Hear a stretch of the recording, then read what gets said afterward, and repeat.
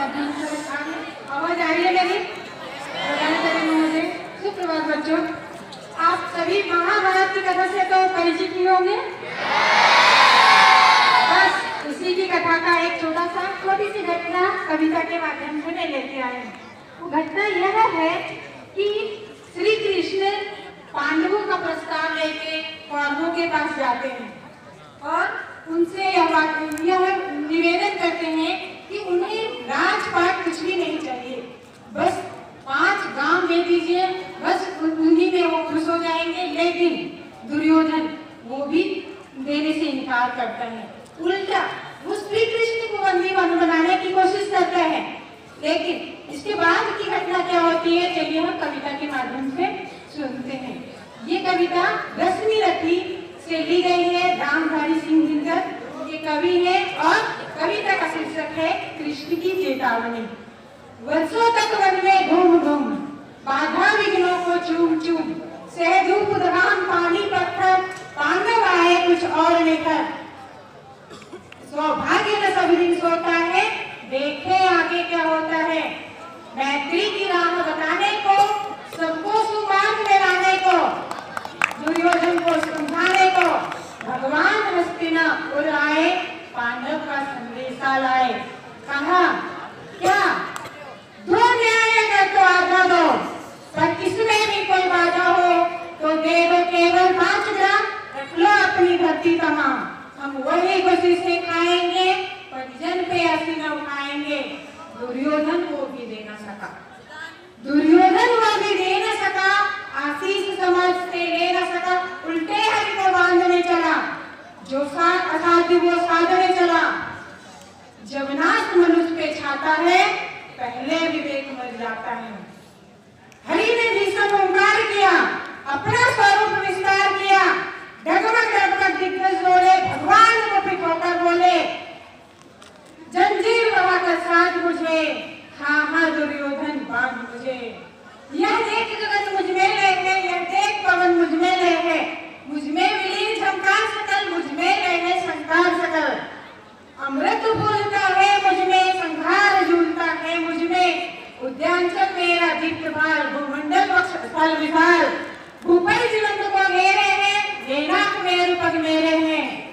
दीप्ते जो ग्रह नक्षत्र निगम सब है मेरे मुख के अंदर। दृग है तो दिशा मेरा स्वरूप विकराल देख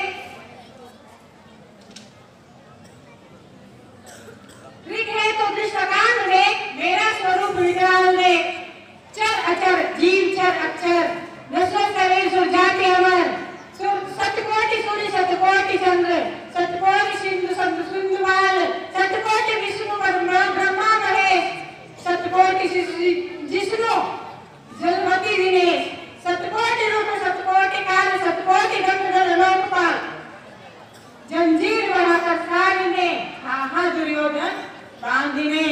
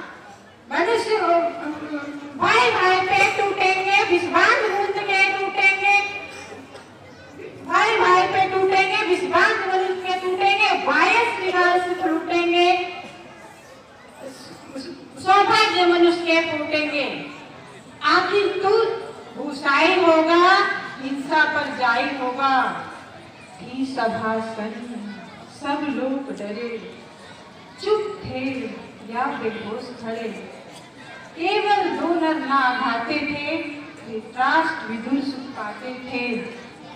कमज़ोर खड़े प्रमुदित निर्भय, दोनों काटते थे, जय जय। दोनों काटते थे, जय जय। धन्यवाद।